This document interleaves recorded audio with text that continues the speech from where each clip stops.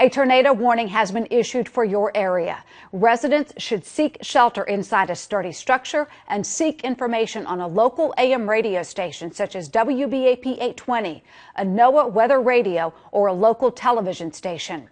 Outdoor warning signs have been activated and emergency text messages have been sent via nixle.com. Do not go outside to view or take pictures of an approaching funnel. All people should move to the most interior, windowless room in the structure, or if available, a residential in-ground or manufactured tornado shelter.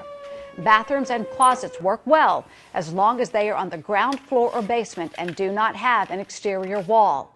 Carry a portable radio with you so you can monitor the situation as it develops. Sit on the floor and cover yourself with a blanket, towels, bed cover, or even a light mattress to help protect you from flying or falling debris.